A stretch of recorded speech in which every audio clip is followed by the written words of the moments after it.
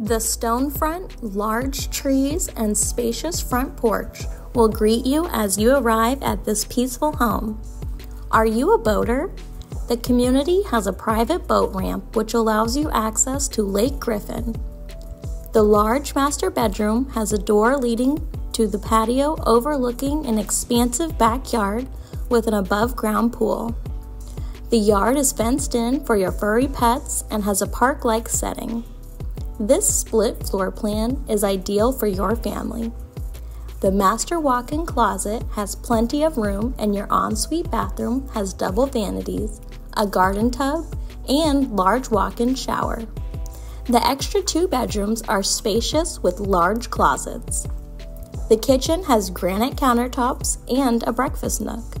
Plantation shutters throughout the home, along with new windows on the west side of the house, add to this home. Crown molding completes the home along with the surround sound system that conveys.